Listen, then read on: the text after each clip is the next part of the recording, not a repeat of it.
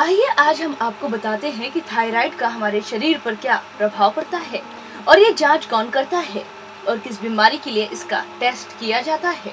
Thyroid गले में स्थित एक ग्रंथि का नाम है।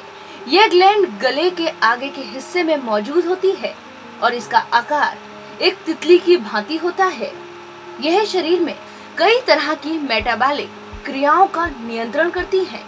थायराइड ग्रंथि में खराबी आने से घेंगा जैसे गले के बढ़ने से लेकर कैंसर होने तक का खतरा हो जाता है। लेकिन थायराइड ग्रंथि में खराबी आने से जो समस्या आती है, उसमें थायराइड हार्मोन्स का सही मात्रा में स्त्रवित न होना है, जिसके कारण समस्याएँ खड़ी हो जाती है। थायराइड ग्रंथि की ऐसी अवस्था में जाँच करवानी ज़रूरी है। जाँच के लिए प्रशिक्षित लैब टेक्नीशियन की ज़रूरत होती है।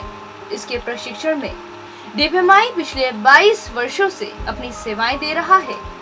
इच्छुक विद्यार्थी इस कोर्स का लाभ Delhi paramedical and management institute से ले सकते हैं। आज हम थायराइड ग्रंथि के असंतुलित होने के कारण की जानकारी दे रहे हैं। कारण, ज़रूरत से अधिक थायराइड ग्रंथि से हार्मोन्स का पैदा होना या स्त्रावित होना। ज़रूरत से कम थायराइड ग्रंथि से हार्मोन का उत्पादन। लक्षण चिंता, घबराहट और चिड़चिड़ापन।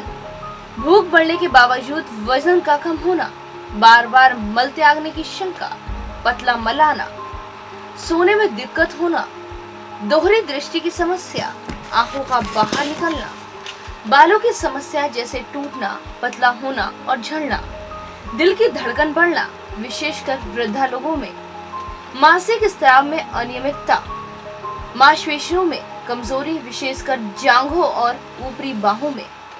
उंगलियों में नाखूनों का तेज़ी से बढ़ना, हाथों का कांपना, पसीना आना और त्वचा का पतला होना, थायराइड के बचाव के लिए फास्टिंग नहीं करनी चाहिए।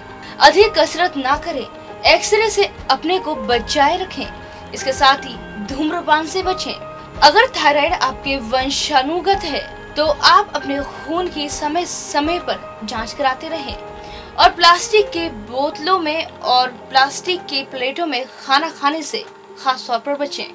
थायराइड ग्रंथि के खून के नमूने को बाजू से सिरिंज के ज़रिए निकालते हैं। रक्त के माध्यम से ही ग्रंथि में आई खराबी का पता चलता है। तो देर किस बात की? आज ही आप डीपीएमआई की वेबसाइट www.dpmiindia.com पर संपर्क कर सकते हैं।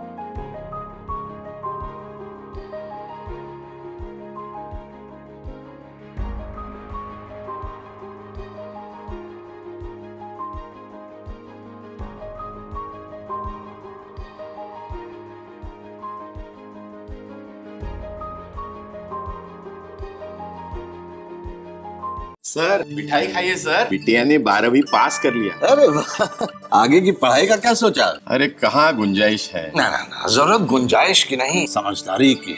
अरे आज ही बिटिया का एडमिशन डीपीएमआई में करवा दीजिए। डीपीएमआई बैठिए। पिछले 20 सालों से पैरामेडिकल का नामी इंस्टीट्यूट है। डीपीएमआई के पास आउट की डिमांड आज सिर्फ़ देश में ही नहीं बल्कि विदेशों में भी है। और हाँ ये सब तुम्हारे बजट डीपीएमआई सम्मान के साथ सुनिश्चित रोज़गार।